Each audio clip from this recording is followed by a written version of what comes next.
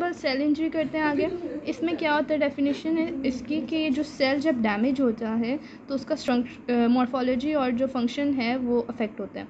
तो जब हम इसके ऊपर से सेल के ऊपर से डैमेजिंग स्टिमुलस जो है, वो रिमूव करेंगे तो क्या होगा कि जो सेल है, वो अपनी असल फ़ंक्शन और मॉर्फोलॉजी उसकी अचीव हो जाएगी। मतलब कि इफेक्ट्स रिवर्स हो गए so it is known as reversible cell injury ठीक है यही इसकी डेफिनेशन है।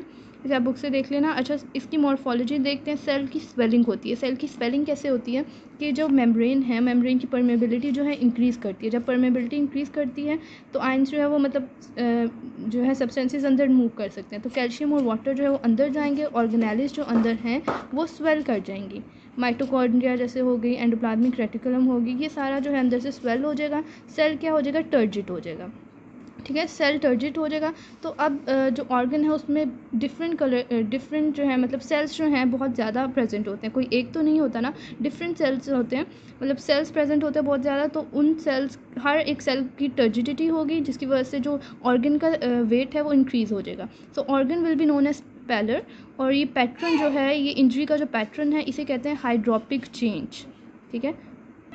उसके बाद आ जाता है फैटी चेंज फैटी चेंजेस क्या होते हैं कि जो वैक्यूल है उसके अंदर टैग की ट्राईसाइक्लिसरॉल की जो कंसनट्रेशन है वो इंक्रीज़ हो जाती है क्योंकि ऑर्गेनाइलिस जो है वो लिपिड मेटाबॉलिज्म नहीं करवा सकते। टैग को जो है वो आ, क्या कहते हैं उसे जो है कन्वर्जन ही उसकी करवा सकते। तो इसकी ब्रेकडाउन नहीं होगी टैग की और टैग जो है वो लिपिड वैक्यूल में इंक्रीज़ हो जाएगा।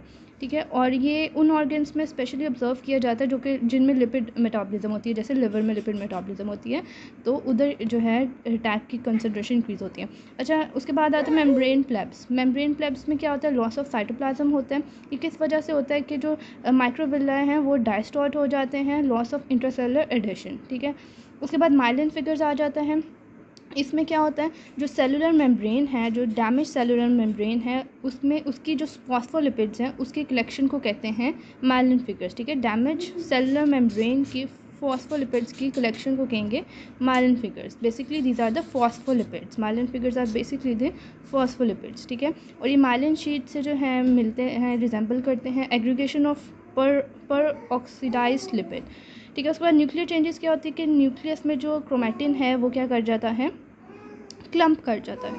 ठीक है तो हमने मॉर्फोलॉजी में सेल की स्वेलिंग की है फैटी चेंजेस किए हैं, क्या फैटी चेंजेस होता है? टैग इंक्रीज़ करता है सेल स्वेलिंग में कैल्शियम वाटर अंदर जाता है, जिसकी वजह से स्वेलिंग हो जाती है।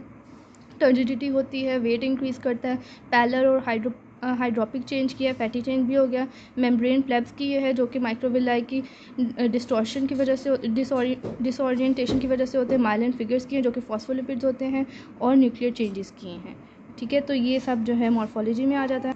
उसके बाद ये फिगर देख लेते हैं कि रिवर्सिबल सेल इंजरी में क्या क्या होता है। स्वेलिंग होती है एंडोप्लाज्मिक रेटिकुलम की माइट्रोकॉन्ड्रिया की, क्योंकि कैल्शियम और वाटर अंदर जाता है। माइलेंट फिगर्स जो हैं, वो फॉर्म होते हैं। ठीक है माइलेंट फिगर्स क्या हैं? Phospholipids which are derived from damage cellular membrane ठीक है, उसके बाद मेम्ब्रेन प्लेब्स बनते हैं, जो कि माइक्रोविलाई की डिसओरिएंटेशन की वजह से बनते हैं। ठीक है?